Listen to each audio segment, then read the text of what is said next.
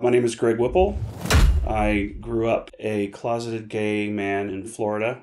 As we all do, we all have rebellious stuff, but mine was more cultural rebellion. It was more music. It was more wearing weird clothes and having weird hair and things like that. But I would still go to church on Sundays. so, but you know, my parents let me let me do that as best as they knew how. I had a next door neighbor and we were best friends and that gave me a great perspective because it was the South and having Eric as my best friend really really sort of buffered me from a lot of that. To this day I'm super grateful for that relationship. He introduced me to uh porn porno videos. One thing leads to another. He gets sick and eventually getting and I knew I knew in the back of my mind what it was. But I was too scared of everything inside me to be there for him. Once he passed, I feel like I had this person up there that was on my side and that was like almost a guiding star for my own homosexual self who had not been, you know, set free yet. In junior high, I had another friend. He had a couple of X rated novels. One of them was straight, the other one was gay. And I borrowed them. I took them, he let me borrow them, take them home. And I was reading them, and my mom found one of them, and she found the straight one. Because I hid the gay ones about as far as away as I could. so that was sort of, again, me like discovering that about myself and trying to not let anybody find out about it and praying constantly that God would take this these feelings away from me, you know, going on youth retreats and dancing around the subject as much as I could. And um, I'm sure there were people who you know knew or had had a had an idea about it but um, I just spent so much time and energy stuffing it down. I had not had any physical experiences up to this point. But when I was in college, I did a couple of little experimentation things, and that scared me back into the church. Um, I was a music major, but I also was very involved in the music program at my church. And I had a group of singers that I would sing with regular, and we went on a retreat. And my music minister at the time who ended up coming out later in life. He kind of knew, he knew that I was gay. He knew he knew what was happening, but he needed me to kind of say it. I actually ended up becoming kind of a guidance counselor for a couple other guys in my youth group, my church group that were also dealing with that. It was cathartic because I was able to actually say say it for the first time to another human being but at the same time, I didn't really come out because I didn't accept it yet. To me, it was like somebody who has a problem with alcohol or has a problem with gambling or has a problem with whatever their sin is. And look how I'm not succumbing to my problem because I'm relying on God. And, you know, I would eventually find a wife and find and have kids and I would be happy. So I graduated college and I had gotten really heavily involved in a very high profile church on their praise team and it was very high production value. In-ear monitors, like all the big top players in town were go, would play there. And it was great. It was a great place for me. But at some point I felt like getting called away from Orlando because I knew that, you know, there are other places out there that had higher ceilings, Nashville, New York, uh, LA. Um, other places. And there were two opportunities for me. One was Seattle, one was New York. I went out to audition for both groups and I liked the Seattle group so much better. And so I ended up choosing to go to Seattle. That's about as far as you can get away from your skeletons and still be in the United States, you know, Orlando to Seattle. So in some ways I struggled a lot financially because we we didn't pay ourselves a whole lot of money. We toured. I was in this band and that's all we did we didn't allow ourselves outside work because we all wanted to focus on what we were doing and we recorded a couple of albums and paid ourselves very minimally and so i kind of burned through all of the savings and IRAs and stuff that I had built up from my work in Orlando, but I came out of the closet. What eventually brought me out was I had a next door neighbor who was about 10 years older than me, and we became best friends. He had cable, we didn't have cable, so I would go over there and watch cable. And he gets a phone call and he's giving somebody directions to his house. And I'm like, I'm overhearing this, and he's like, okay, I'm kicking you out. I'm like, okay, have fun. Thinking it was a woman. Turns out it was one of the guys that he had met at my Christmas party.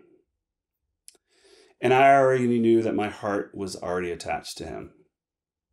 So that was the first time I really felt like I was spiraling downwards into what would eventually be my freedom. I got up the courage to talk to him about it.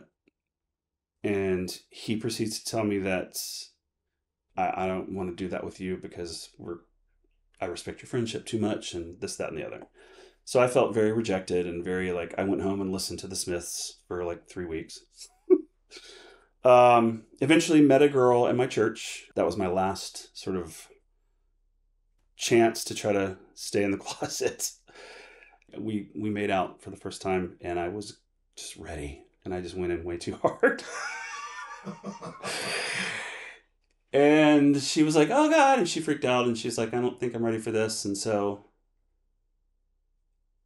I kind of was like, "What am I doing? What am I doing?"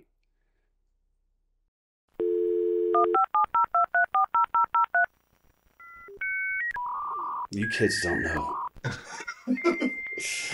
uh, you know, it was the dial-up internet days, and you know, you get more and more curious about things, and you start doing searches, and you start realizing, oh, I like I, I like these kinds of men, and so then I learned about what bears were, and I was like, oh, okay. So I found the bear rooms and started chatting in there. I had already kind of been checking out gay dating sites on gay.com or AOL chat rooms or whatever at the time. But I was not a bear. I was like skinny. I was still trying to be a rock star with my spiky blonde hair and my horn rim glasses. And I went on this bear room site and met somebody and had sex with him that afternoon. and it was just like, cool, boom.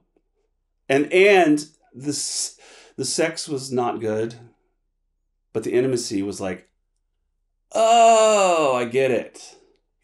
Finally, you know, after years and years and years of being scared dating women, making them cry because I wouldn't go past second base, you know.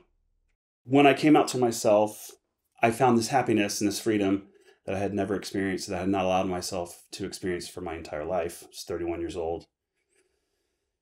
And so I was just like full of that notion. And I was like, I want to be happy in every area of my life. So that's when I realized I was not happy doing what I was doing career wise in Seattle that's when I sort of quit the band and came to Los Angeles. I had moved home to Florida for about six months to kind of get out of debt before settling in Los Angeles and um, living back with mom and dad.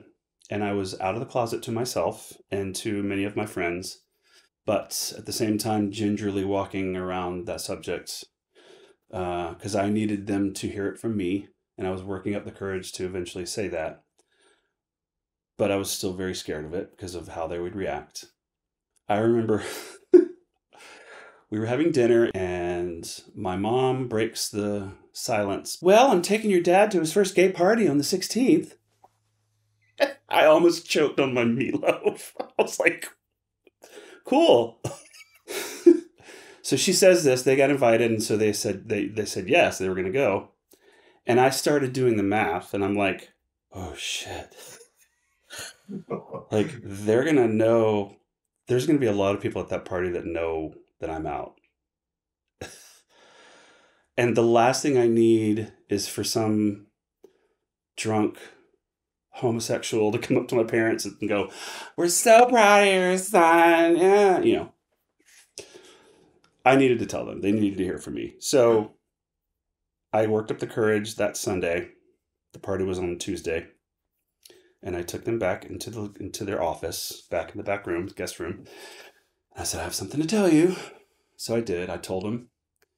And they took it pretty well at first.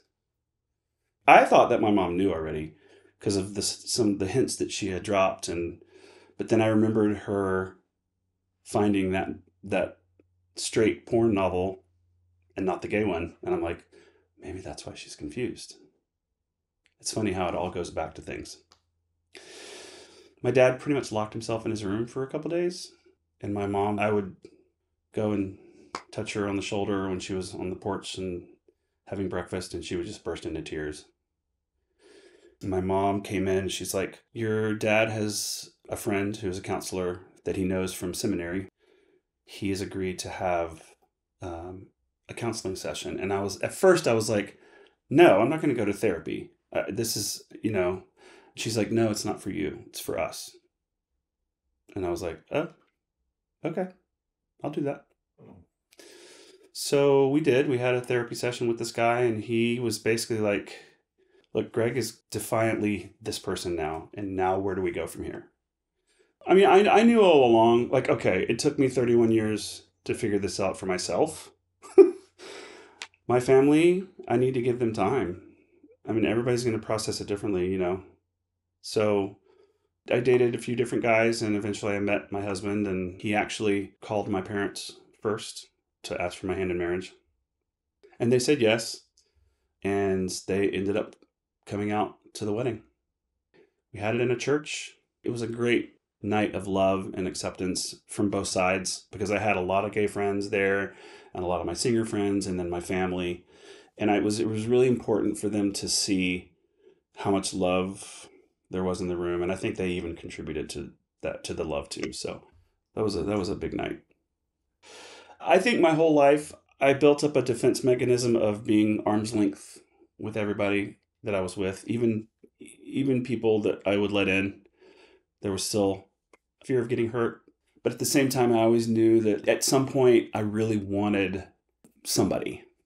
Now I have this person that I can connect on everything with. So a friend of mine had visited LA from Canada that I had met, and I was like, "What do you want to do when you're here?" He's like, "I have to see Joan Rivers, Fashion Police," and we got a picture taken with her after the show. I think a year later she passed away. So the day she passed away, I posted that picture. You know, Joan Rivers. I don't remember even remember what I said. So he liked the picture, but I had already kind of moved past that post. And a couple weeks later, I kind of went back. As you do, you get bored. You're like, oh, I wonder who liked this picture. And so I went down the list, and at the very bottom, there's like a group of people. And I was like, who's that? And he had a little green light next to his profile. So he was online, and I was like, hello. and he said hello back, and we started chatting. He was living in San Diego at the time, and I had some friends down there. So, of course, I I vetted him with my friends, and he did the same. And we all of our friends gave the green light. So, about a week after we started chatting, he was into powerlifting and there was a powerlifting competition in Long Beach. So he was like, I'm going to come up for this thing. Do you want to meet? So I said, sure. It was on a Sunday. You know, it was in a different city. If things didn't work out, we could just both go our separate ways. If things really worked out, maybe we would get a hotel room. I, you know, we, we were just whatever. So it was a lovely, lovely first date. But we also both recognize that okay, well, there's more to this than just let's get a hotel room. So it's almost 10 years now coming up. I've worried too much about this my whole life. You know, and it made me kind of go, well, maybe I why did why did it take me this long? But then I'm like, you know, it it all happened for a reason. I'm glad it took me a while to do it. I think had I come out at an earlier age, who's to say what I would have been like as a person? I, I like who I am. What happened to me when I was a kid had repercussions, you know? Some of it was malicious, some of it was playful, some of it was experimentation, but that all ended up molding my path.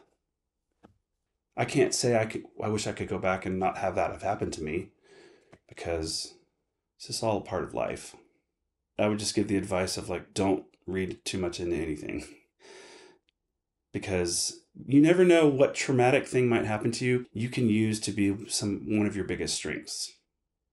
It's like people who are the ugly duckling people who think i'm not pretty or cute they develop another way to get attention and that happened with me like i learned how to make people laugh. I also learned how to make people cry with my voice as a singer that's where i i found myself and, you know, even with coming out, I thought I was not attractive at all until I finally had the right intimacy with somebody who happened to be a man and it clicked. And that's when I found some self worth. And I realized, oh shit, I'm attractive to somebody. You know? And I learned how to cultivate that more. And that was a huge, huge point in my life to find that finally.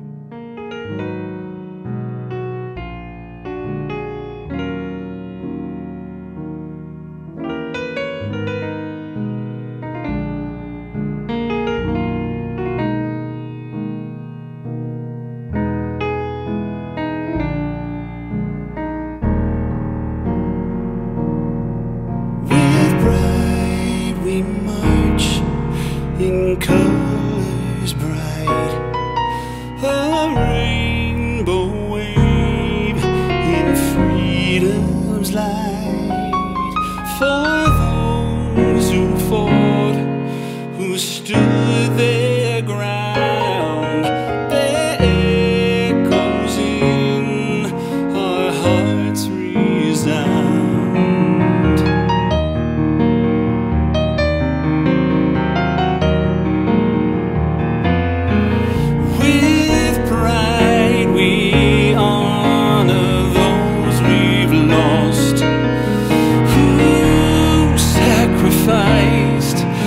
far across the